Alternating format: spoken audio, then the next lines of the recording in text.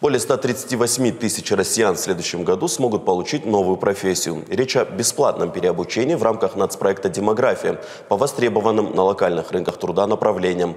Также в Минтруде указали на то, что в следующем году продолжат реализовывать мероприятия по профессиональному обучению и дополнительному профессиональному образованию граждан по федеральному проекту «Содействие занятости». На реализацию программ предусмотрели более 8 миллиардов рублей. Записаться на переобучение можно через портал «Работа России».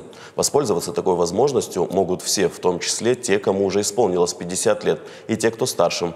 Добавим, в этом году по программе уже учатся или завершили обучение более 132 тысяч человек.